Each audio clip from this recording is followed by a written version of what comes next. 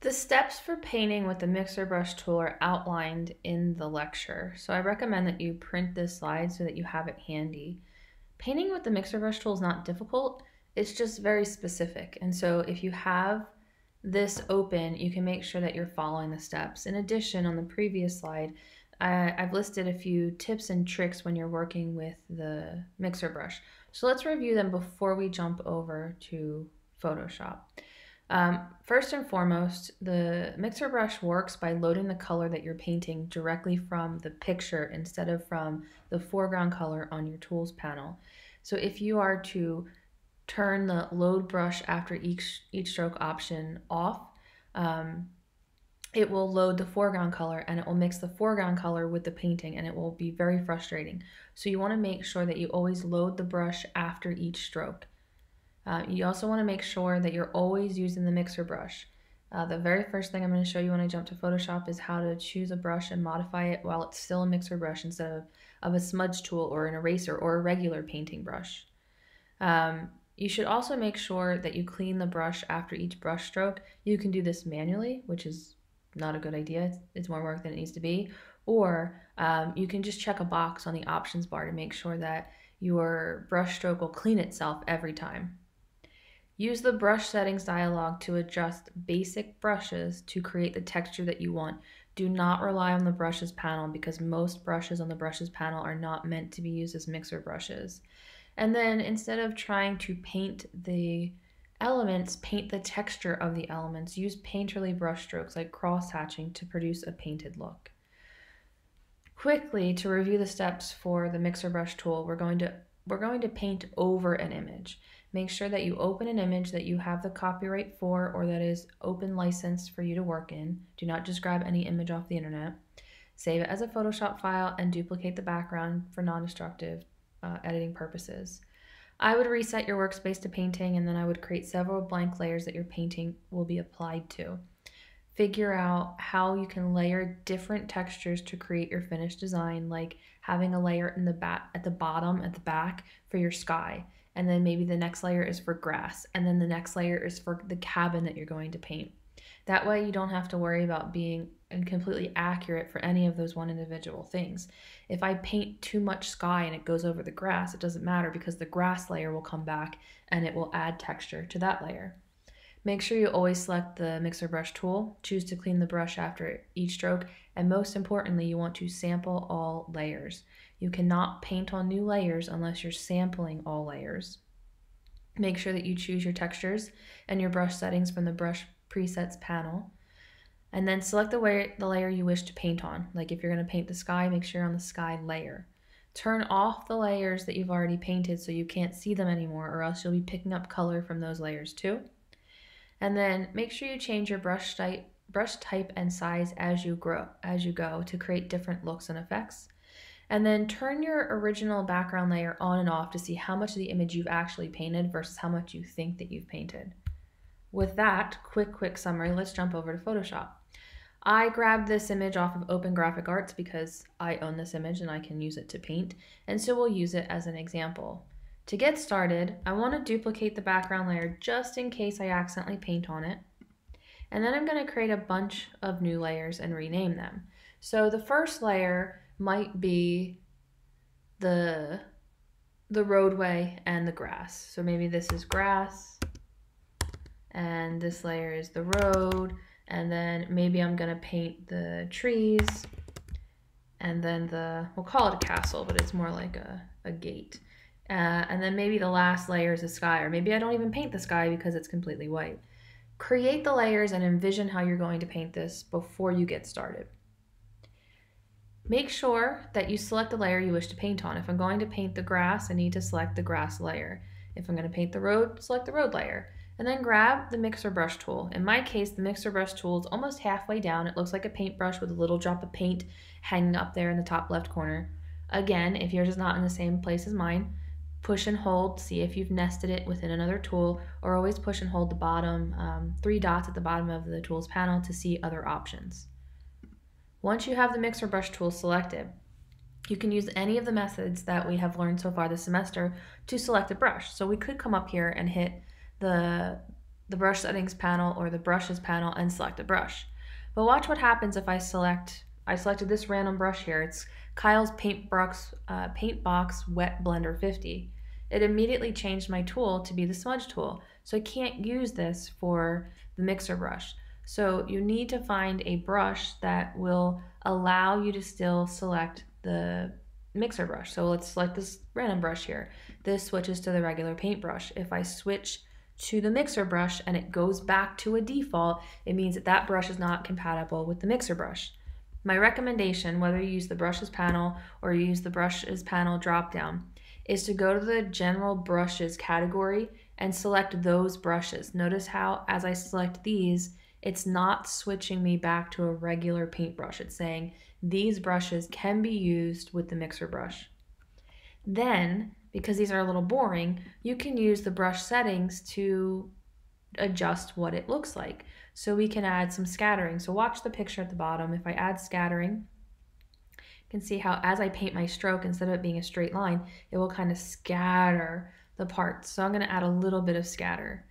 Um, you can change the shape. So you can say that I want them not to be perfect circles as I go, like the line's not going to be even. Uh, you can, let's do, I want to go back to scattering. I want to add some transparency. We'll add some opacity on our options bar at the top here. Let's see. Well, while we're here, let's do spacing, add some space between our lines. Um, let's add some fuzziness to the edge. Maybe we don't want, whatever we're painting isn't going to have a hard edge. Whatever you want to do, change all the different textures that you're going to paint. So maybe this one's good here. See how there's a little bit of roughness. It's not exactly um, even, and now I want to paint with that. The last thing I'm going to do is I'm going to change the size of it so that you can see it on screen. Now you're going to want to choose a brush size that is appropriate for the thing that you're painting, but I need you to see it on the video, so mine's probably going to be bigger than it needs to be.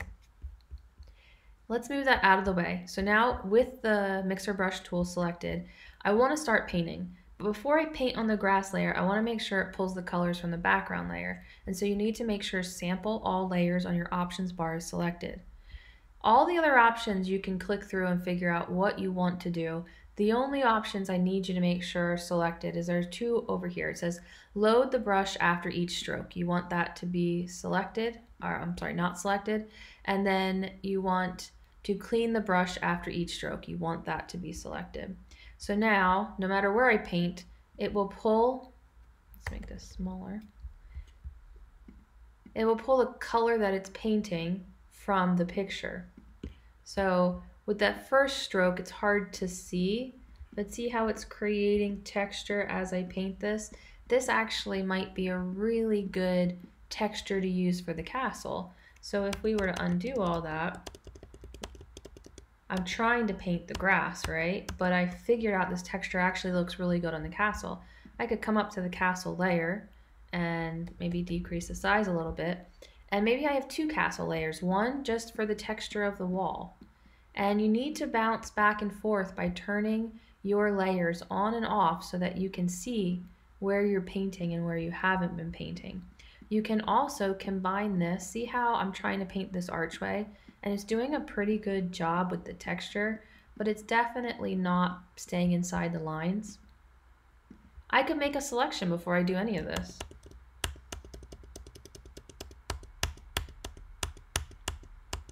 Erase all that. So maybe I grab my quick selection tool and I make a selection. Well, make sure you're on a layer that has that. And I make a selection of this archway. And we'll pretend that I did a really good job for time's sake here. Okay, so we refine this. If I select the inverse, now I have everything except for that archway selected. So now if I go back to the castle layer, grab my mixer brush tool and I start painting, I don't have to worry about painting inside that archway. I just have to worry about applying the texture that I want. In this case, I probably would have wanted to select the whole castle so that when I paint the far right side, I'm not going off either. But now as I paint in there, if I turn off my original layers and I deselect, you can see that I'm only painting that texture where I want that texture to go. And that actually is a really good texture for the castle. Now you might need to come back and paint over the details. So maybe you add another layer and you make that the castle two layer. And then you can turn off the layer that you've already painted and only focus on painting the details back in. So let's do this one more time. Let's um, go back to the grass layer. I have my mixer brush selected. I want to go to the brush settings panel and let's try to find a texture that might work for the grass. And so as I click through here, um, for some reason, everyone tends to love the texture that's literally blades of grass. Please don't use that texture. Um, but maybe, maybe this texture works and maybe I could flip the direction of it so that, let's do this. Ah, there we go. So that as I paint grass, it might have a grass texture. So let's see how that works. So the grass layer is selected. I have sample all layers selected. I turned off my painting on the castle so I don't have to worry about it getting in the way. And then I have um, clean the brush after each stroke selected. So now I can come through and I can try to paint the grass. Paint a few strokes and then turn your original layers off.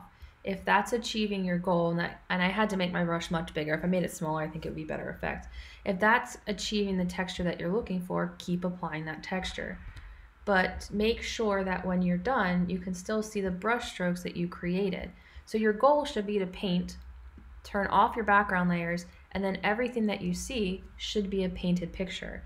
Um, when I when I look at your projects, I'm going to turn off your background layers and see what areas you have uh, painted. And I've clearly produced different textures too. I have this rough um, rock like texture on the castle, which is great because that's what the castle's made out of.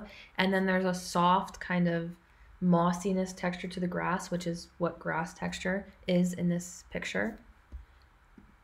Experiment with as many brushes as possible. Don't try to paint everything in one layer or even any one item on one layer. If you figure out that one texture works really good for the bulk of the castle, paint the whole castle in and then add another layer on top of that for all the highlights or all the shadows that you want to add back in. You may want to combine it with some hand painting. If after you're done painting, it's really hard for you to, let's grab the regular paintbrush. Maybe it's really hard for you to get that drop shadow in with the mixer brush. Maybe select black and find a good brush. Let's zoom in here. Whoops, that's not the key command to zoom in. And maybe you come in with a brush and on a new layer, you can hand paint, make sure, I'm gonna grab my stylus for this. You can hand paint that shadow back in. This is not the right texture for that, it's too hard. I would wanna get like, kind of like a chalk pastel, I think, um, brush. But you can come and you can hand paint some of the details back in. Not everything has to be mixer brush but the majority of it should. You're, you're looking for textures when you're using the mixer brush, not specifically all of the fine detail. And now when I zoom out, you can see I've added that shadow back in and it looks more natural than it did before. We can toggle that on and off. It's really important that when you're painting you use layers because it allows you to keep your editing separate. If you decide that you did a horrible job on the grass, all you have to do is select it and delete it and it's gone and you can start all over if you paint all on the background copy layer and something that you did two hours ago is wrong, you'll have to redo the whole thing.